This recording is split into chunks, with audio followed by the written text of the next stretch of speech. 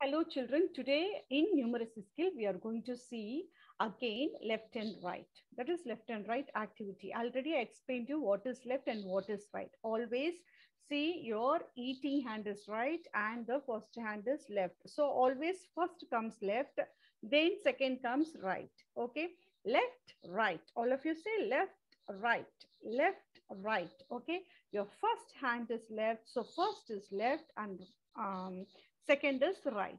So here in this uh, numeracy skill page, in this activity, we are going to identify and circle the left and right. Okay.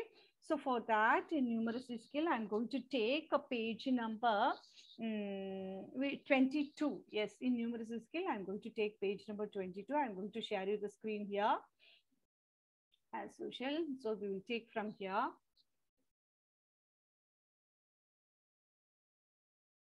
Yeah, we got it, right? So here you can see, okay.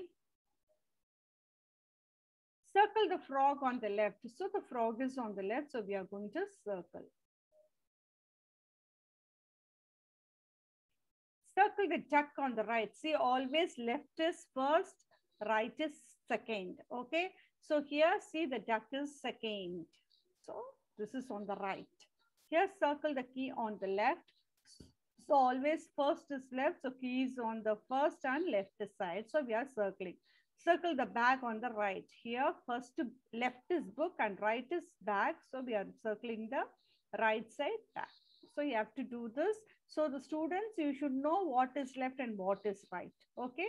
Thank you, children. Send me the picture. Writing your name. So here in this page, even when doing itself, write your name with the pencil.